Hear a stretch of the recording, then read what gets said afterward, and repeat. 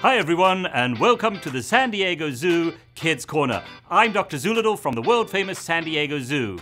You won't believe the stories that I have got to tell you and the amazing animals that I have met on my many adventures. I cannot wait to share all my stories with you.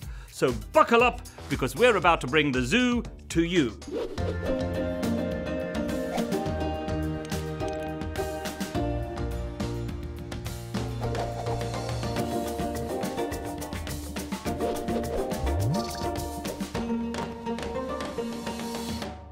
Well, today's episode, we have got special guests for you to meet. We've got some videos to show you, and of course, there's going to be some jokes. Everything is going to be about animals. But before we get started, I need to hear your favorite animal. Just go ahead, shout out your favorite animal. Let me know what it is.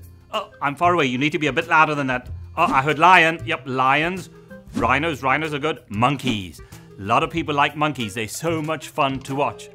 Let me tell you a secret my favorite animal are the Madagascar hissing cockroaches. That's right, I love cockroaches. Okay, whatever your favorite animal is, it's going to be a wild ride and we're going to have so much fun together. Are you ready to find out what today's theme is? Okay, I'm going to need a drum roll, please. Drum roll. Bum, bum, bum, drum roll. Today's theme is the place where animals live. Do you know what those two words are that make up the place where animals live? That's right. Today's theme is animal habitats.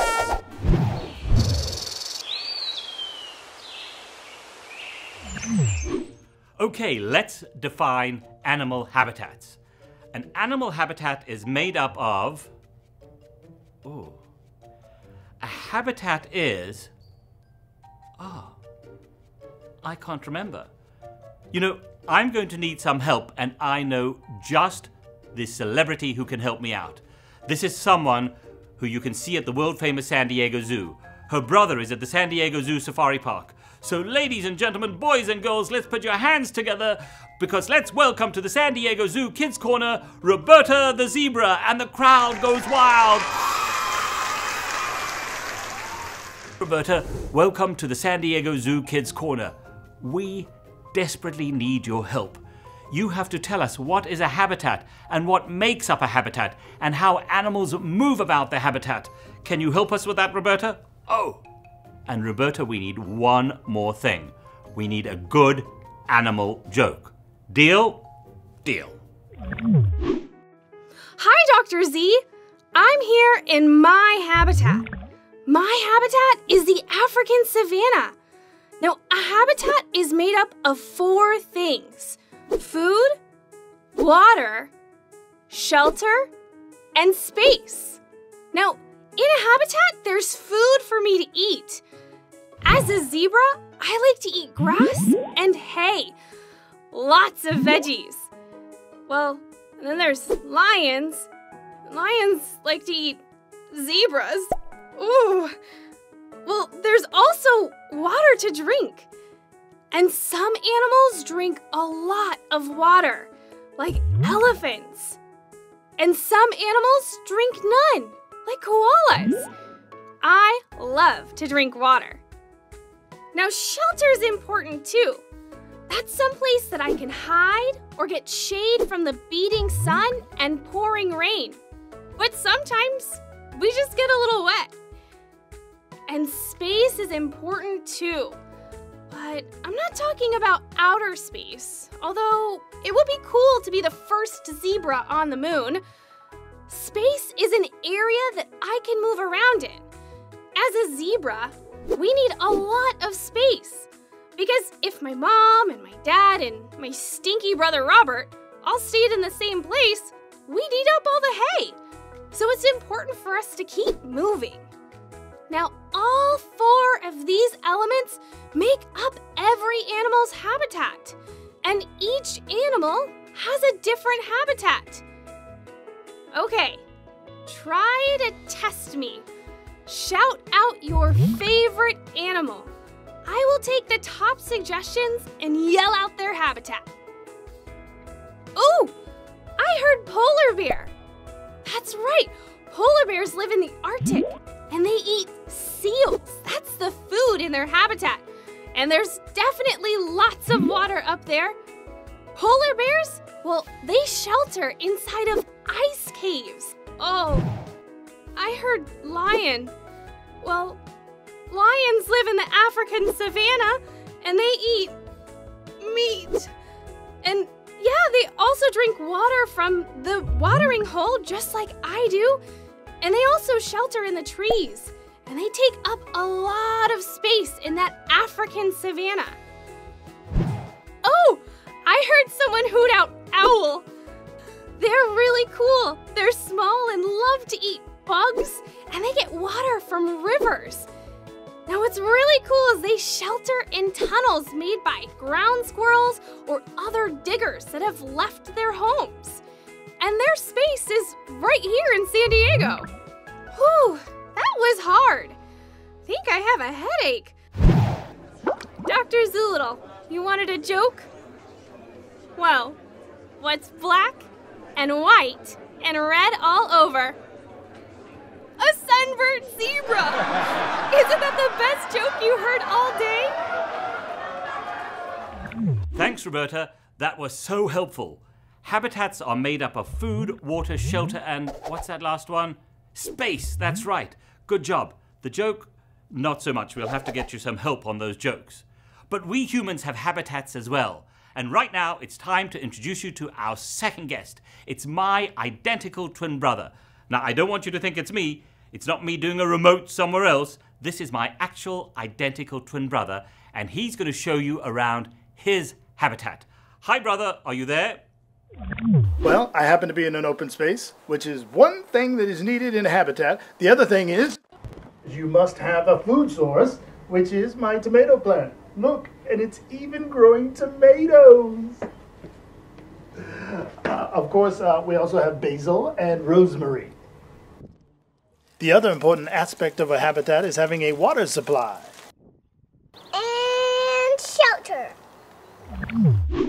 Didn't I tell you he was my identical twin brother? I mean, it's amazing. Now, I'm going to tell you the secret on how to tell us apart.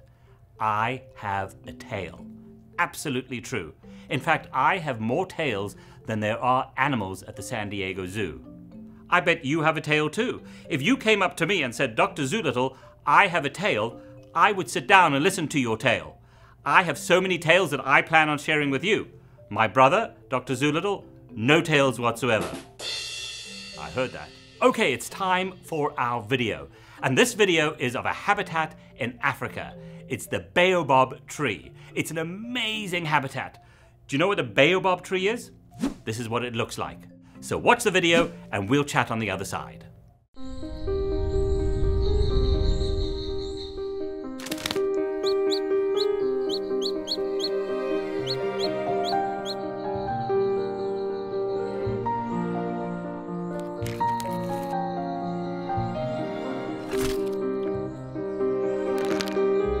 Wildlands of Madagascar are home to an incredible variety of rare and strange creatures that live in unique habitats on the island. Each inhabitant has perfectly adapted to life on the island over millions of years of isolation. And now, this curious wonderland continues to amaze us with its bizarre yet astonishing beauty. But perhaps the title of most unique and versatile landscape belongs to the spiny forest of southwest Madagascar. At first glance, this strange habitat may appear to be dry, harsh, and desolate. But upon closer inspection, it is quite the opposite. This forest is teeming with life, and if you look hard enough, some rare treasures can be found. A gecko has sought refuge in the crack of one of the most iconic trees in the forest.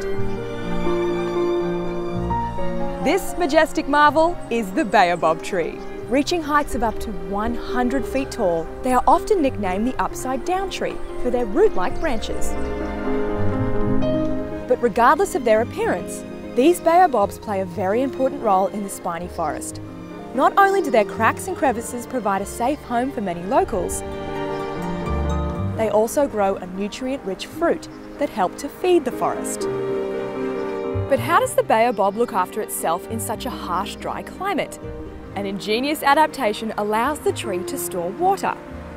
A large baobab can hold thousands of gallons of water, earning it another apt nickname, the bottle tree. The baobab isn't the only unique flora doing its part to keep the spiny forest functioning. Another remarkable plant commonly known as the octopus tree grows juicy flowers and moist leaves that attract hungry stomachs. Even though the octopus tree does its best to defend itself by disguising sharp thorns amongst the leaves, the lure of a tasty treat is too strong for some lemurs. This biodiversity hotspot is just one of many landscapes that make up the true beauty of this magical island.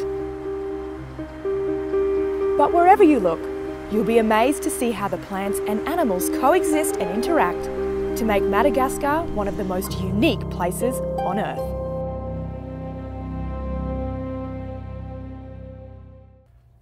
Wasn't that tree amazing? In fact, I've been to a baobab tree in Zimbabwe that can hold 40 people on the inside. Just imagine that. That's your whole class, your teacher, the principal, Dr. Zoolittle, Dr. Zoolittle's identical twin brother, the lunch lady, and the PE coach all inside the tree at the same time. Well, it's time for our pop pop pop pop pop, pop quiz. Let's see how well you paid attention to the baobab tree. Here goes. Shout out the answers if you know them. Question number one Where did the lemur find food in its habitat? If you said the leaves and the fruit of the baobab tree, you're absolutely correct. Question number two Where did the gecko find shelter in the baobab tree? The gecko finds shelter in the cracks of the baobab tree. Question number three How does the baobab tree survive the dry season?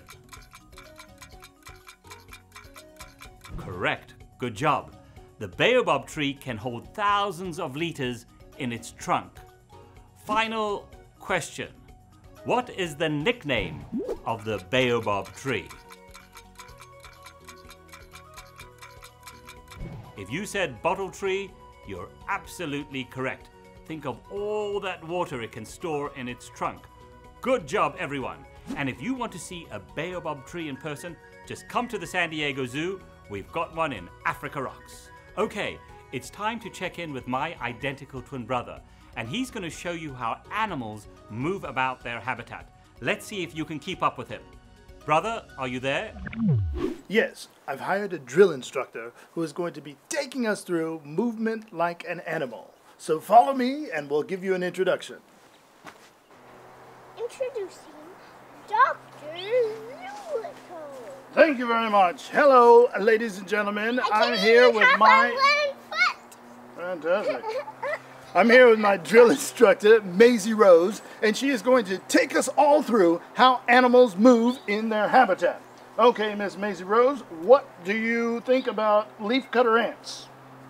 Oh, yes, they march. That's true. Okay, great. So now we're going to do the lizard crawl. What does the lizard crawl look like?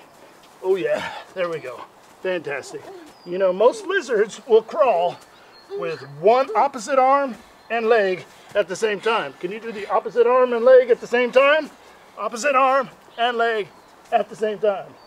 You want to try that? Opposite arm and leg at the same time? No, I guess I'm the only one working out today. Fantastic. Just like a normal drill instructor. Okay, great. Um, sway like a tree. What does that look like? Oh, yeah. This is like the break part. This is fantastic. Did you know that uh, trees sway in the wind? The bark helps protect the tree. But most people think that the trunk of a tree is very rigid, but it's not. It actually sways in the breeze as well. Oh, we're gonna stay in this one for a long time. I love it. I love. Oh yes, back to work. Okay, jump like an insect. This is good. All right, fantastic. We are now on to our primate pose. What do you think about that? Ooh. Oh yeah, that looks like a gorilla. Oh yeah, swinging through the trees like uh, the, um, the chimpanzee. That's fantastic. Oh, how about the um, uh, orangutan? They have really long, really long arms. Fantastic. And back to the gorilla. Fantastic. And last but not least, we have the gecko plank. What's a gecko plank? Oh, I'll show you. So a gecko plank looks like this. You get down on your arms with your feet on the ground, and then what? Hey! And a lot of lizards and geckos will actually do push-ups to show off to other lizards and geckos. Dr. Zoolittle out! Wow, that looked like a lot of work to me. My favorite one was the tree swaying. The gecko plank, that was really hard. Adults, let me help you out. If you have to do a gecko plank, you can do it this way over here. That's the way I intend to do it. Okay, let's see how many moves you remembered. I'm going to call them out, and you get to act them out. Are you ready? Let's go. Ants marching. Insect leap. Gecko plank. Tree swaying around. Primate pose. Gecko plank. Insect leap. Wow, you guys did an amazing job. That is fantastic. Good work. Okay, we want to leave you with some fun projects that you can do at home. Here they are. Oh. This is a great idea of something you can do at home. Are you ready? You know, I'm not so good at this. Roberta, do you have any suggestions of things that our friends can do at home? Well, there's lots of things that you can do at home. Maybe head outside with a sibling or a grown up to practice your animal workout moves. You can play your favorite song and have an animal moves dance party. And you can share your animal moves with a friend or a family member over video chat. You can even write a poem or a story describing how your favorite animal moves through their habitat. Okay, everyone, Roberta suggested writing a poem, and while she was talking to you, I did indeed write a poem. My poem is entitled I Love Cockroaches by Dr. E. Zoolittle, Poet Laureate of the world famous San Diego Zoo. Here it is. I love cockroaches. They come out at night, to your pet's delight. They scurry from light, and they give your mom a fright. And that's why I love cockroaches. The end. We've come to the end of this amazing episode, and I want to see if I remember everything that we learned. So let's see, a habitat is made up of four things. Let's see if we can do it from the top to the bottom, bottom to the top, forwards, backwards. Let's see if we get it right. Try keep up with me, maybe even go faster than I go. Are you ready? Food, water, shelter, space. Let's start at the bottom. Space, shelter, water, food. Let's go backwards. Food, backwards. Doof, water, retor, shelter, retless, space. Oh, that's an easy one. E-caps. Can you speak backwards? What can you say backwards? How about your name? Dr. Zoolittle. Oh, that's hard. Rotcod etl ooze. Got it! We want to hear from you.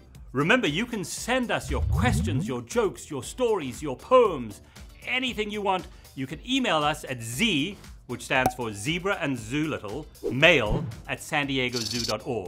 Get an adult to help you out. Send us those questions, those jokes, those stories, those poems, and if we use your suggestion, we'll mention your name on the air. So until next time, see you soon.